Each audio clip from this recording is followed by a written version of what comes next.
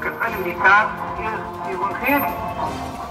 Pues juntar familia, para que se junten antes los con la finalidad de evitar violencia en los hogares, en el departamento y municipios de Sololá, personal de la Subdirección General de Prevención del Delito de la Policía Nacional Civil llevan a cabo la campaña No más violencia contra la mujer e intrafamiliar, medidas sin cumplimiento al decreto 10-2020, estado de sitio en Nahualá, Santa Catarina, Extahuacán y Santa Lucía, Utatlán.